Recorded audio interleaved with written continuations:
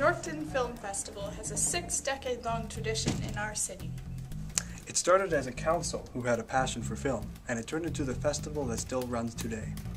The festival has evolved from an international film festival to the short film and video festival to the festival that we know today. It celebrates Canadian short film and provides an audience for emerging filmmakers. Every year, we bring in industry professionals and expert panelists to talk about the film industry, how it's changing, and what you need to know to break in.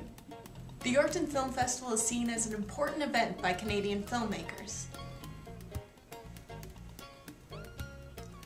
The Yorkton Film Festival is a Yorkton tradition.